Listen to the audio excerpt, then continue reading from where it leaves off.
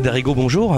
Journaliste, reporter, et puis maintenant depuis quelques années quand même euh, spécialiste, on va dire, de la vie locale marseillaise, avec plusieurs livres, dont ce dernier aujourd'hui que vous présentez ici à Aix-en-Provence, à la librairie de Provence, donc Marseille Mafia.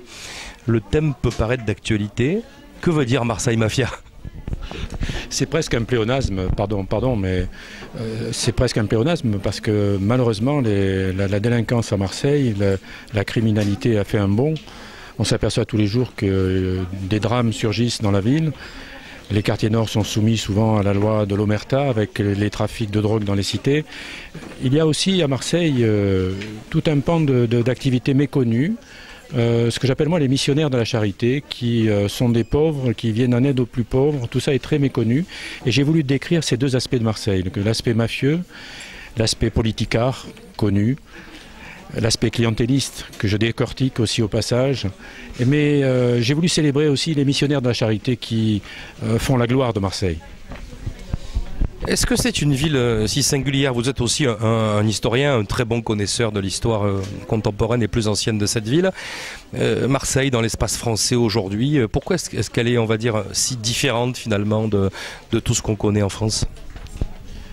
Marseille n'est pas différente, Marseille est double. Vous avez deux villes en une. Vous avez Marseille Sud, qui est le Marseille des Européens, des catholiques, des protestants et des juifs, et vous avez le Marseille Nord, qui est le Marseille des musulmans. Malheureusement, ces deux villes sont séparées aujourd'hui par une sorte de scission ethnique, géographique, culturelle. Euh, qui fait que Marseille est double. Vous avez Marseille Nord et Marseille Sud. Le problème, c'est que il faudrait réunifier ces deux villes en une, c'est-à-dire qu'il faut réconcilier les Marseillais entre eux. C'est très important. Réconcilier les Marseillais musulmans et réconcilier les Marseillais chrétiens. C'est très important parce que sinon, si on laisse faire les germes du fanatisme, on va vers euh, des aventures qui seront peut-être euh, terribles. Alors on a vu euh, l'État, le gouvernement, la politique de manière générale s'en mêler, sans grand résultat pour, pour le moment. Euh, quelle thérapie alors pour Marseille pour, pour réussir ce dont vous parlez, c'est-à-dire le pari de la rencontre à nouveau dans cette ville c'est euh, très difficile. Euh, le chantier sera très vaste, euh, très long et très pénible.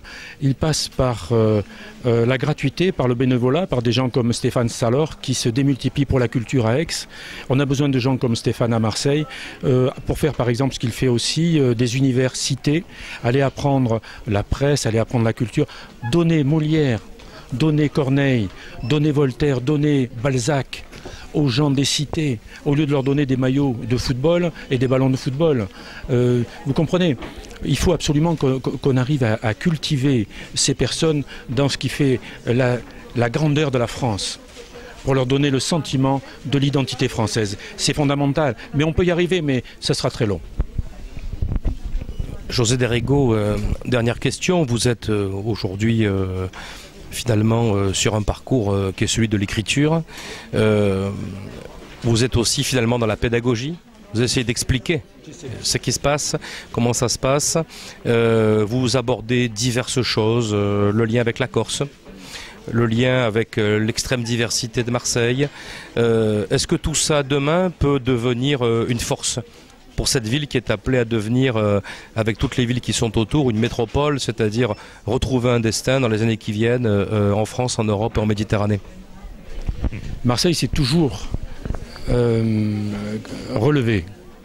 Dans le passé, elle a vécu des périodes sombres aussi, ne serait-ce que la peste en 1720. Elle s'est toujours relevée, Marseille.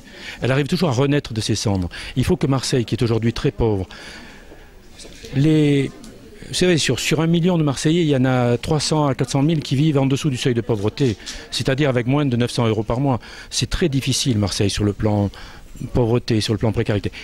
Et Marseille peut s'en sortir parce qu'elle a une force, elle a une vitalité insoupçonnable, mais qu'il faut absolument arriver à, à canaliser, à maîtriser et surtout à réconcilier le Marseille Nord et le Marseille Sud de telle sorte qu'on arrive à refaire naître Marseille à ressusciter Marseille, le grand Marseille.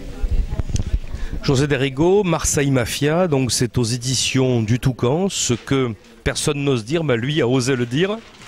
José Derrigo, bonne suite à vous. Hein, bonne suite pour l'écriture et puis euh, bon séjour ici à Aix-en-Provence sur le.